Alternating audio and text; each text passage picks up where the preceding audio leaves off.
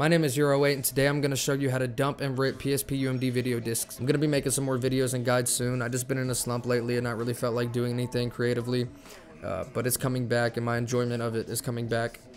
Uh, my enjoyment for it rather. So without further ado, let's start the guide and go over to the PSP. On the PSP, once you have the UMD video you want to rip in the drive, right there's Reign of Fire, I have mine in. Um, but once you have yours in the drive, what you're going to want to do is hit select to bring up your custom firmware VSH menu. I have ARK420. Yours might look a little different depending on what custom firmware you have. And the location of uh, these things might be different on yours, but it should more or less be the same. But what you're going to want to do is it's at the top for me. So where it says advanced VSH menu, you're going to want to press X on that. And then where it says USB device, you want to use the D-pad to go over to where it says UMD. And then you're going to hit select to back out and then select again. Now what you're going to want to do is scroll over to settings and click USB connection. So now that we changed the USB device, it will no longer show your storage device when you connect it to your computer. It'll mount the disk inside the UMD drive. So remember to change that back after you dump your UMD. Alright, with all of that out of the way, let's head back over to the PC. Once back over at the PC, at this point you should have switched the USB device to the UMD drive and your PSP should be connected to your PC. Once it pops up, you will now see the ISO image of the UMD you have inside the drive. Simply copy and paste it somewhere on your PC and wait for it to transfer. I recommend making a new folder somewhere to house all the files so it's easier to keep track of everything.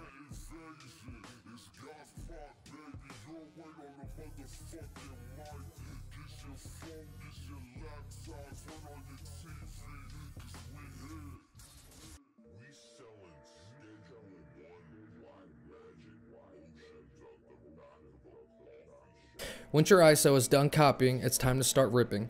First, go ahead and rename the ISO to the name of your movie or whatever you're ripping.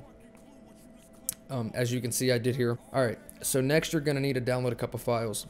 You're going to need VGM Toolbox and UMD Gen.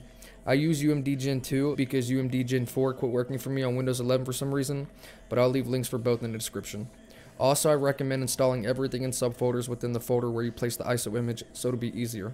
Alright, once you have everything downloaded and installed, what you're going to want to do is open UMD Gen, click File, then Open, and browse to the location of the ISO you dumped.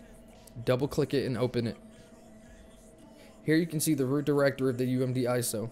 Next you're going to want to right click on root and hit extract all. Once the window pops up, browse to the same folder where the ISO is and make a new folder for the extracted files. Once made and selected, click OK to start ripping the files.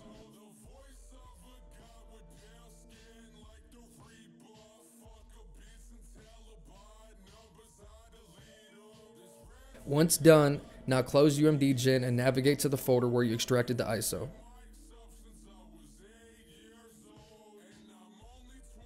You should see a subfolder labeled UMD underscore video. Open that folder, then open the stream folder and these are the actual video files from the UMD ISO. If you are ripping a movie, look for the file with the biggest size. That's most likely the main file, or you can just rip everything if you want. But in my case, the main film is the third file down. So right click and cut the files you want to rip and paste them into the VGM toolbox folder.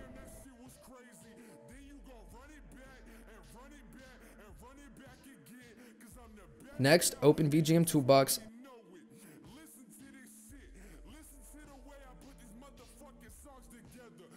double click miscellaneous tools, then stream tools, then video demultiplexer. Now under options, change the format to MPS PSP UMD video.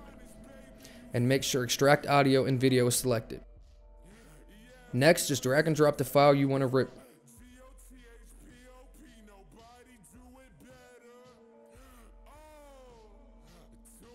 Once complete, you will see some new files in the VGM Toolbox folder. You can now delete the MPS file as it's no longer needed. Alright, you should now see an H.264 video file and an OMA audio file.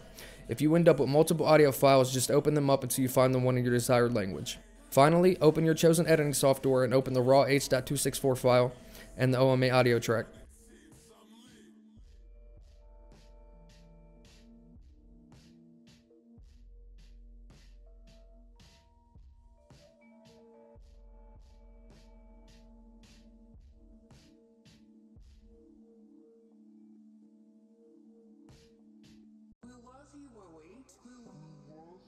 As you can see, sometimes what will happen is the video track is out of sync with the audio file and doesn't match the runtime. So what you can do if you use Sony Vegas like me is go to the end of the video track, hold control on your keyboard and drag it to the end of the audio track. As you can see now, it's perfectly in sync and or you can use whatever equivalent that does this thing on uh, your editing software that you use. So now finally, just export to whatever video format you want and you're finished. Smoking? Oh, I told you, I only smoke when I've been drinking.